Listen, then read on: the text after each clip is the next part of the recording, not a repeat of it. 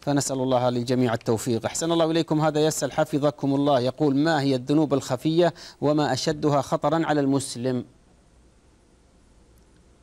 الذنوب الخفية والذنوب الظاهرة كلاهما خطر نعم. على المسلم. الذنوب الخفية التي لا يطلع عليها الناس.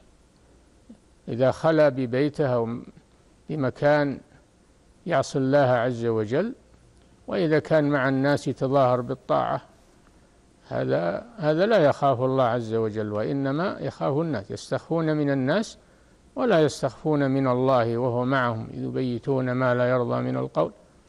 فيجب على المسلم أن يكون آه، دائما يخاف من الله عز وجل ويترك المعاصي ويراقب الله عز وجل. والنبي صلى الله عليه وسلم قال اتق الله حيثما كنت. واتبع السيئة الحسنة تمحها. نعم.